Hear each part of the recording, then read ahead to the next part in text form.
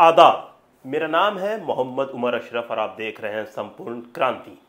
आज मैं एक ऐसे शख्स के बारे में बात करने जा रहा हूँ, जिन्हें बिहार का पहला एजुकेशन मिनिस्टर बनने का शर्फ हासिल हुआ।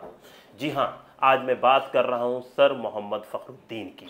सर मोहम्मद फ़खरुद्दीन 1921 से 1933 तक बिहार के एजुकेशन मिनिस्टर रहे।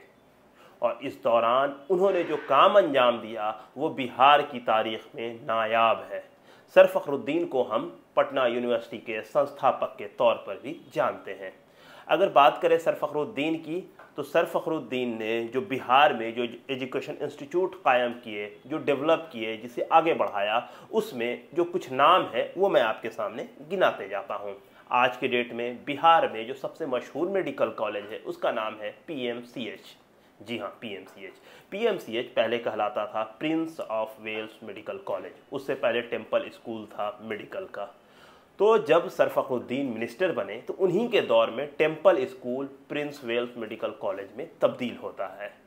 बिहार इंजीनियरिंग स्कूल था, उसको उन्होंने बिहार इंजीनियरिंग कॉलेज में तब्दील किया. और यही कॉलेज आज के डेट में एनआईटी पटना के तौर पर जाना जाता है. इसके अलावा हिंदुस्तान में दो देसी तर्ज हैं इंसान को ट्रीट करने का, यानी उनके इलाज का, जिसको कहते हैं आयुर्वेदा और यूनानी तिब तो 1926 की दहाई में सर फ़खरुद्दीन की कोशिश की वजह कर बिहार में दो मेडिकल कॉलेज खुले। एक आयुर्वेदा कॉलेज है और दूसरा तिब्बी कॉलेज। इसके अलावा जानवरों के इलाज के लिए उन्होंने वेटनरी कॉलेज खोलने में भी अपना नुमाया किरदार अदा किया। इसके अलावा बिहार में संस्कृत कॉलेज अलग अलग इंस्टीट्यूट को खोला उन्होंने और साथ में 1922 के दौर में उन्होंने बिहार मदरसा बोर्ड की बुनियाद डालने में अहम रोल अदा किया। उन्हीं की काविशों की वजह कर जो आज का मदरसा शमशुल होदा है, उसको उन्होंने सरकारी मदरसे के तौर पर इस्टेब्लिश किया। जैसा हम लोग जानते हैं कि 1912 में उस मदरसे की बुनियाद जस्टिस नूरुल साहब ने डाली थी, लेकिन सर फ़खरुद्दीन के कहने पे उन्होंने उनके हवाले किया, यानी सरकार के हवाले, और वो मदरसा बहुत डेवलप किया। और चूँकि पटना यूनिवर्सिटी का फाउंडर हमने उन्हें क्यों कहा? तो एक कमेटी है नथन कमेटी। और उस कमेटी में एज ए हिंदुस्तानी बहुत सारे मेंबर थे तो उसमें एक जो सबसे अहम मेंबर है, वो सर फ़खरुद्दीन खुद भी हैं। और जब वो एजुकेशन मिनिस्टर बनते हैं तो उनका सबसे बड़ा काम रहता है पटना यूनिवर्सिटी को इस्टेब्लिश करना। तो आज की डेट में आप अशोक राजपथ पर जो पटना यूनिवर्सिटी देख रहे हैं, जो इमारत देख रहे हैं, उसमें ज़्यादातर जो इमारत है, वो सर फ़खरुद्दीन की देन है। उन्होंने सरकार से फ़ंड लेके, जो बिहार और आसपास के खत्े में जो अलग अलग रजवाड़े थे, उनसे मदद हासिल करके बिहार में जो पटना यूनिवर्सिटी है उसको इस्टेब्लिश किया। ये वही दौर था जब ग्रेड वन के प्रोफेसर के लिए उन हिंदुस्तानियों को नहीं रखा जाता था, जब तक वो किसी बाहर की यूनिवर्सिटी यानी अमेरिका और यूरोप से पढ़ के ना आए। तो इसके लिए सर फ़खरुद्दीन ने एक स्कॉलरशिप निकाली।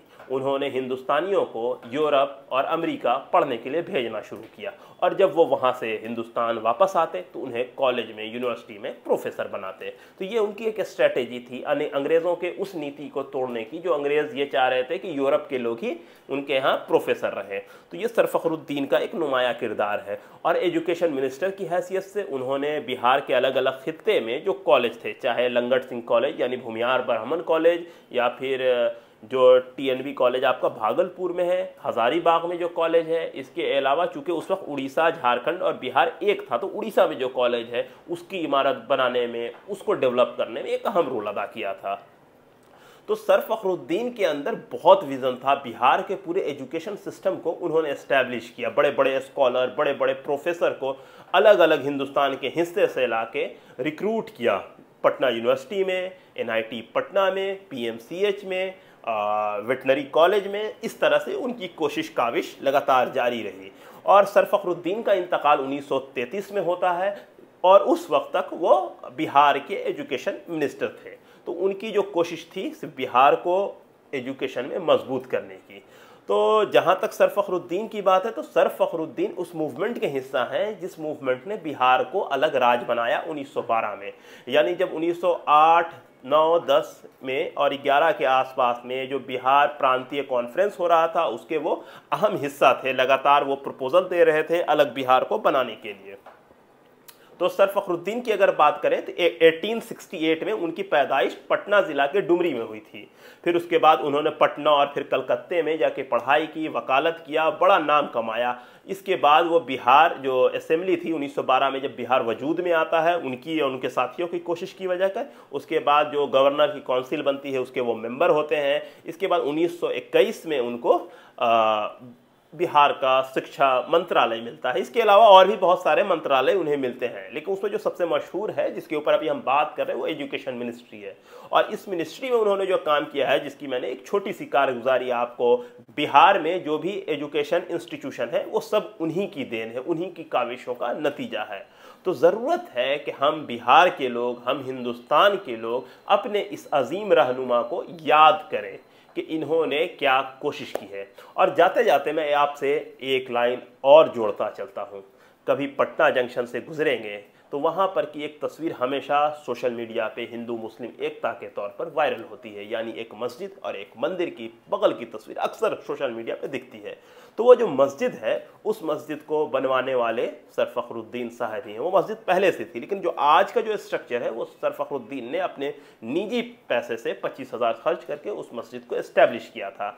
और ये उनका एक मजहबी रुझान है और बहुत सारे उन्होंने बिहार को तरक्की याफ्ता बनाने में काम किया है। तो अगर आप असम्बली के डिबेट असम्बली की चीज़ें अगर पढ़ेंगे तो बहुत सारी चीज़ आपको उनके बारे में जानने, पढ़ने और समझने को मिलेगा। तो दीजिए हमें इजाज़त, हम आपके सामने इसी तरह से हाजिर होते रहेंगे अलग अलग वीडियोज़ में अलग अलग शख्सियात के बारे में बताते हुए। तब तक के लिए बहुत बहुत शुक्रिया। खुदा हाफिज़।